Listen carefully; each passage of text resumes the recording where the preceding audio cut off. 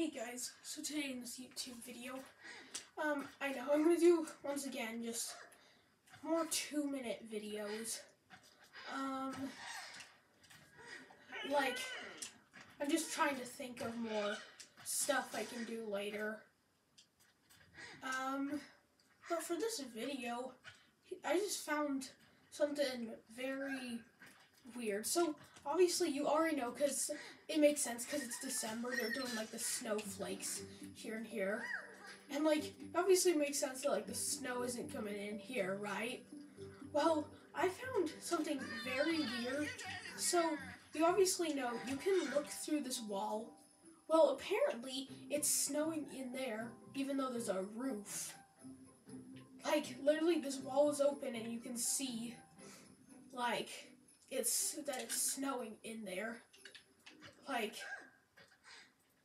they just probably forgot to, in there, stop the snowing too. Even though it's probably, it's probably still, like, snowing because, like, since you can get in there acorn and, like, the acorn glitch is, like, extremely glitchy that, like, they because they don't expect you to go behind there. They make it snow behind there because since you can get into like the invisible well the fa- like phasable floor it kind of probably just because of that.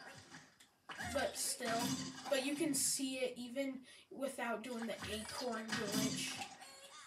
Like because even if i try to get in his acorn which i don't think i will but yeah like yeah i don't know why it doesn't let me in but that doesn't really matter because you can see it from here.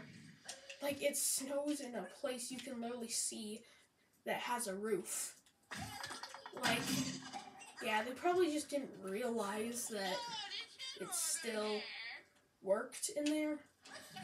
But yeah. But I know this is just kind of pointless again. I was just kind of making this to show something kind of strange because